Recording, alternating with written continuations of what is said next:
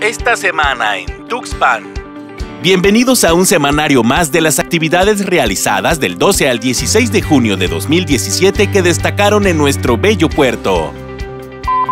El Ayuntamiento de Tuxpan entregó a cuatro escuelas del municipio apoyos para brindar mantenimiento a las instalaciones, además de recibir talleres y pláticas para inhibir el acoso y la violencia escolar. Esto dentro del rubro de prevención del delito que maneja el programa de fortalecimiento para la seguridad Fortaseg. Con una inversión superior a un millón de pesos proveniente del Fondo Federal de Programas Regionales, fue inaugurada una cancha deportiva en la colonia Infonavit Canaco, esta es la primera de cinco obras que serán entregadas en próximas fechas y que beneficiarán a un gran número de familias tuxpeñas, además de fomentar la sana diversión y esparcimiento entre la población.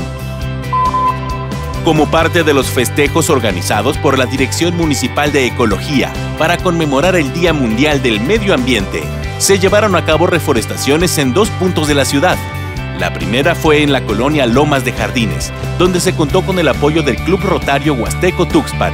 De igual manera, en la congregación La Victoria se reforestó la telesecundaria Guadalupe Victoria, dando muestra clara de cómo la población se ha concientizado y se ha sumado a las acciones emprendidas en beneficio del medio ambiente.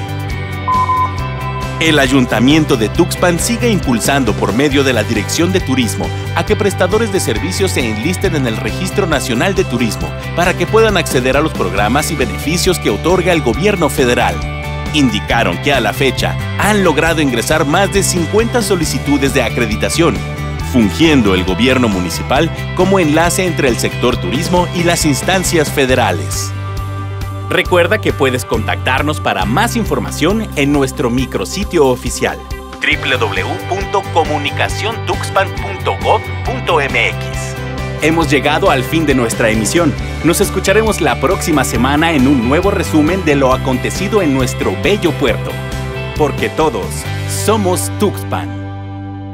Estos programas son públicos, ajenos a cualquier partido político. Queda prohibido el uso para fines distintos a los establecidos en los programas.